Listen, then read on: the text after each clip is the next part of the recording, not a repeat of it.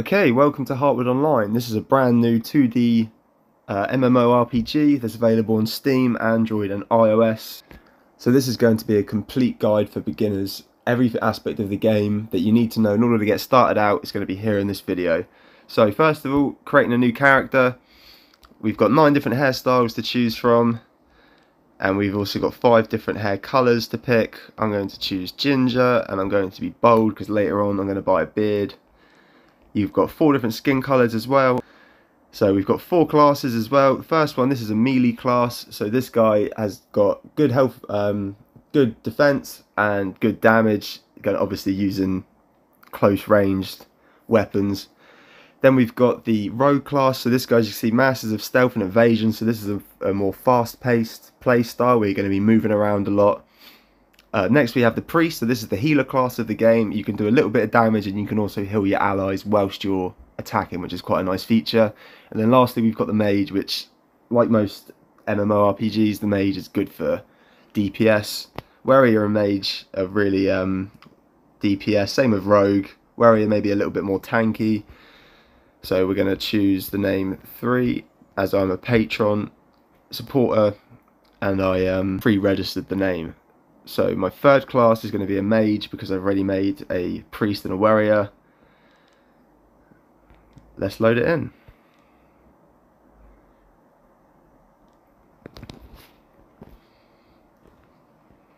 So once you've created your character, it's important to know that any character customization after this is going to cost you gold. Gold is earned in-game.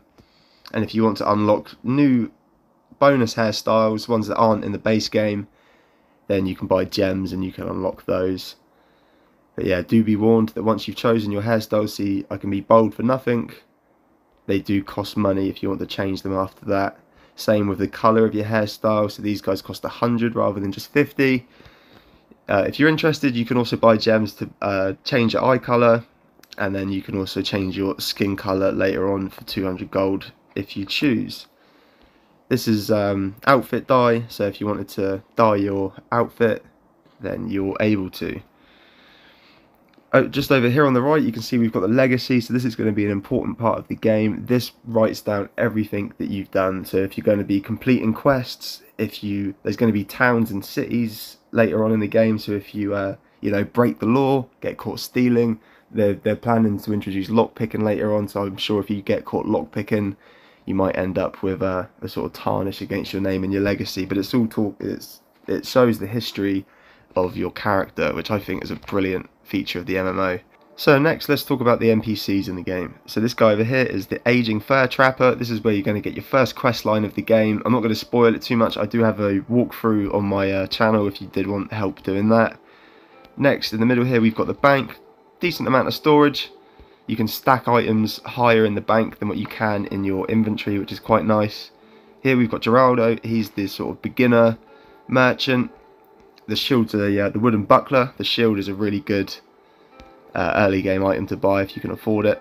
And likewise with the ragged hat for the mage class, that's also really good. Right, so we're just coming into the second town area of the map. I'll just open that up for you. You can see it's in the top right hand side of the map down here in the bottom left is the first town. So this is Ezra, this is the more upgraded NPC for when you're a bit of a, when you're a slightly higher level.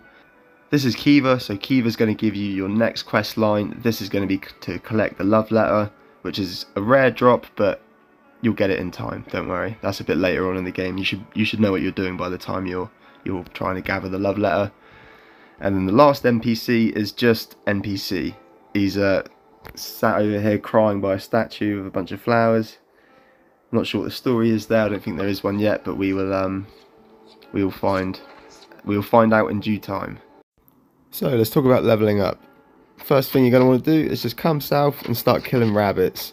The aim of the game really is to kill mobs that are the same level as you or a little bit higher. The game actually stops you from gaining XP on mobs that are three levels or lower than you are, than your current level that's just to stop really high level players from, you know, taking over the low level areas and just killing thousands of rabbits and not letting the new guys get a chance at anything. After the rabbits, you're going to want to head up here and kill the deer. So there's something with the mobs. You can see the deer's got a yellow name. That means he's a passive mob, so you have to actually attack him first before he'll fight you. Same with the rabbits. Once you fought the low level deer, you're going to want to come up here and fight the slightly higher level deer. This is also where you're going to find the deer boss. I wouldn't recommend fighting him at the start of the game. He's a really, really powerful mob. Once you're comfortable with the deer, the next place you're going to want to head to is the swine pits. And this is the first time we're going to encounter a mob that is going to attack you without you attacking it. So you, if you're a low level, you're going to want to stay away from here. Wait until you're comfortable with the deer before you enter the swine pits. Okay, so I've had to swap over to my main character so I can show you guys the rest of the mobs in the game. So, like the deer, you're going to get tougher pigs. There's also pig bosses. You see down there is a level 13 boar. He's pretty tough. Once you're comfortable killing boar, it's time to enter the outer bone mines and start killing vultures. And as soon as you're comfortable killing the vultures, just keep going north up here to start fighting the skeletons. The next update in the game, Major Zone update, is going to be there through this door.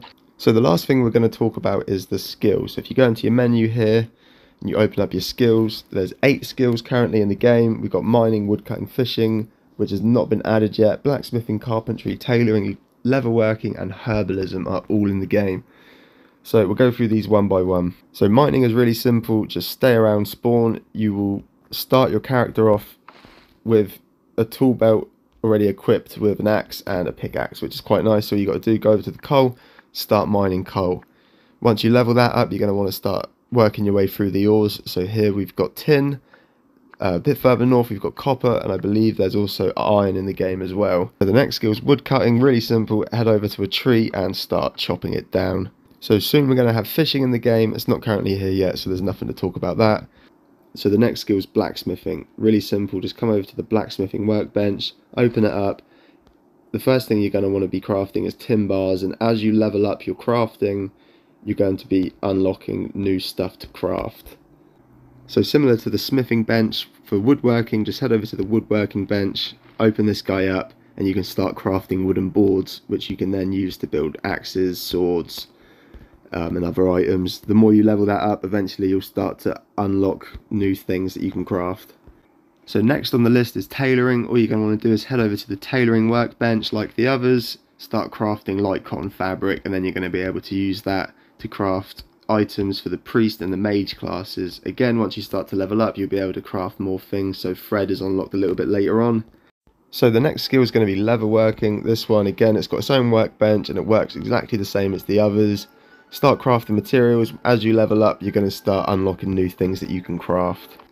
At the moment, herbalism's leveled up by just gathering cotton. I assume later on in the game we're going to have potions and we're going to be able to gather other sorts of plants to level up our herbalism and start crafting potions and no doubt upgrade our potion skill tree. So the last thing you need to know about really is your abilities. So if you see in the bottom right there, I've already unlocked two of my abilities. The first one is the same for all classes. That is your healing ability. You're then going to unlock your next one. These are unique for each class, so I'm not going to go too in depth right now about them, just so that I don't spoil them for you. But the next one is unlocked at level 5, and then the last one is unlocked at level 15. I believe the plan in the future is to keep unlocking more as time goes on, and you'll be able to build certain classes by choosing different abilities. Right, so every time you level up, you're going to get two talent points. These can be spent in either health, armor, attack power, magic power, critical chance, critical damage, health regeneration, dodge chance, focus. Focus is um so if you get stunned or slowed by an enemy, it's going to reduce the effect, like the time that that lasts for. And then uh, lastly, cooldown reduction on abilities, which is what I think is going to be pretty OP later in the game for the priest class.